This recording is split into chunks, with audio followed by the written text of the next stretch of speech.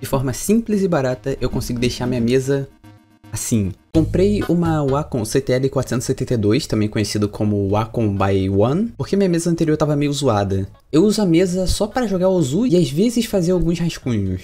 Com essa mesa nova eu mudei totalmente meu estilo e comecei a jogar tocando com a caneta na mesa. Por medo de arranhar a mesa a longo prazo e ficar gastando dinheiro com ponta com muita frequência e é muito chato de você ficar comprando, eu decidi fazer uma proteção bem simples. E também para deixar ela mais legal. Eu não queria comprar mais caras da internet e procurando pelo YouTube eu vi uns gringos fazendo. Então me decidi basear neles e fazer uma também, mostrando o passo a passo que eu fiz para caso você queira fazer também. Não precisa se preocupar, a sua mesa vai continuar funcionando sem problemas tendo um adesivo em cima. E se sua mesa tem alguma luz igual a minha, provavelmente ela vai ficar ofuscada, mas ainda vai dar para enxergar. Primeiro, saiba qual o modelo da sua mesa e pegue as medidas. Você pode pegar o tamanho na internet pelo próprio site da empresa ou na descrição do produto em alguma loja.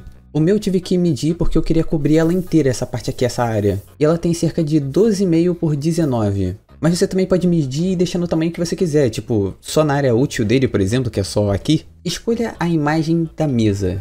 Essa foi a parte mais difícil para mim porque eram muitas opções. Eu tentei dar uma filtrada. Eu sou uma pessoa que curte muito o minimalismo e pensei que personagens relacionados a anime iriam combinar muito bem com a mesa e com a ideia de jogar o Zu. Os primeiros personagens que vieram na minha cabeça foram Hideri, Ren e Zero Two. E dentro dessas escolhas tinham muitas opções legais. Eu peguei o wallpaper mais legal que eu encontrei no Google com o maior tamanho e qualidade possível. A minha imagem é 4K, mas é um pouco de exagero meu. Acredito que meu 80p de alta qualidade deve ser mais do que o suficiente. Acredito que não seja um problema monstruoso usar a imagem da internet para algo pessoal, mas de qualquer forma eu vou deixar onde eu tirei o meu aí na descrição, para caso vocês tenham curiosidade. Abra a imagem no Photoshop com a medida da sua mesa e coloque ela da forma adequada. Recomendo evitar imagens com muitos elementos próximos às bordas para garantir que ela fique certinha quando você for fazer o adesivo. Se a sua mesa tem algum design diferente, com alguma curva ou coisa assim do tipo, você também vai precisar arrumar ela no Photoshop de acordo com isso. Recomendo procurar uma imagem da sua mesa e colocá-la na frente e recortar por cima do desenho para ter referência. Eu também recomendo fazer as bordinhas para quando você for cortar e facilitar sua vida. Eu mais do que recomendo você deixar sua imagem no formato PNG ou no PDF para garantir a maior qualidade possível na hora da impressão.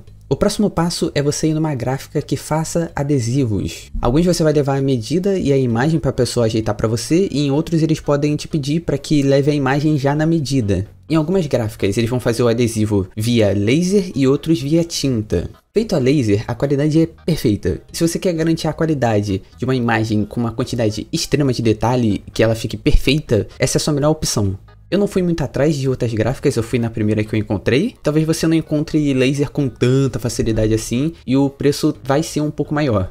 Feito a tinta foi o que eu escolhi. A qualidade é muito boa. Se não é uma imagem com grandes detalhes e a qualidade da imagem for a melhor possível, vai dar um resultado bacana. A minha se encaixa com essas características, então eu realmente senti que ficou aceitável. Eu queria conseguir mostrar na câmera, mas eu acho que ela não consegue pegar como que ficou a qualidade para vocês terem uma noção, é muito difícil. E também o bom dessa opção é que ela é mais barata e foi para teste. Quem sabe no futuro eu procure um adesivo a laser para ver no que dá. Se for o caso, eu vou atualizar vocês no comentário fixado desse vídeo.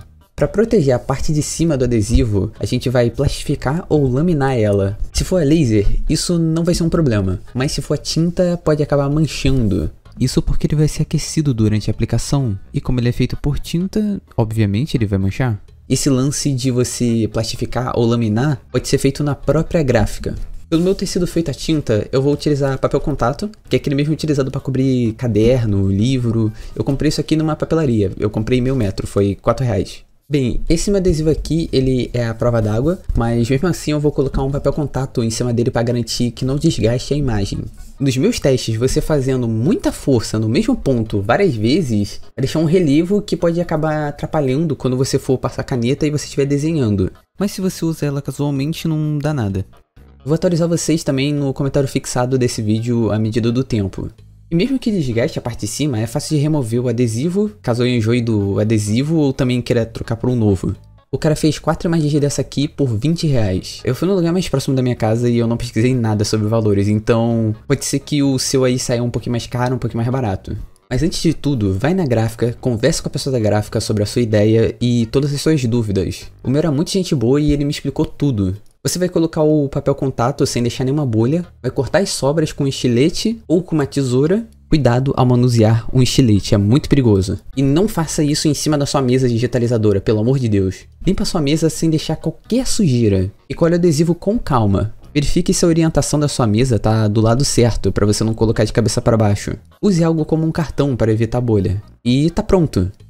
De forma bem simples e barata eu consegui deixar minha mesa assim. Ficou bem legal. Poderia ter ficado melhor, tipo, sem essas bolinhas, ter deixado menos rebarba aqui. O total gasto nessa brincadeira foi de 24 reais. Meio metro de papel contato custou 4 reais. Cada adesivo custou 5 reais, mas era um mínimo de 4 imagens. Mas se a gente for mais específico sobre o valor, usando o papel contato com a metade do tamanho, que já seria o suficiente, e tendo em conta apenas um adesivo, foi gasto praticamente 7 reais. Vamos pro teste.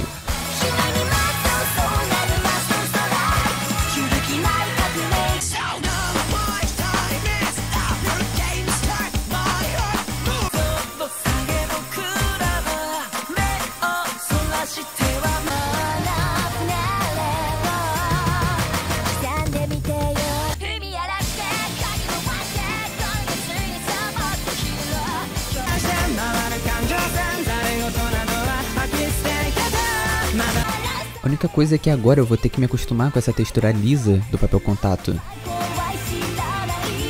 E curtiram esse vídeo? Não esquece de deixar o seu like. Caso tenha feito, não esqueça de me mandar o resultado. Tô curioso para saber que coisas que vocês fizeram. Se vão usar de anime, se vão usar alguma de meme. Enfim, é isso aí e até um próximo vídeo.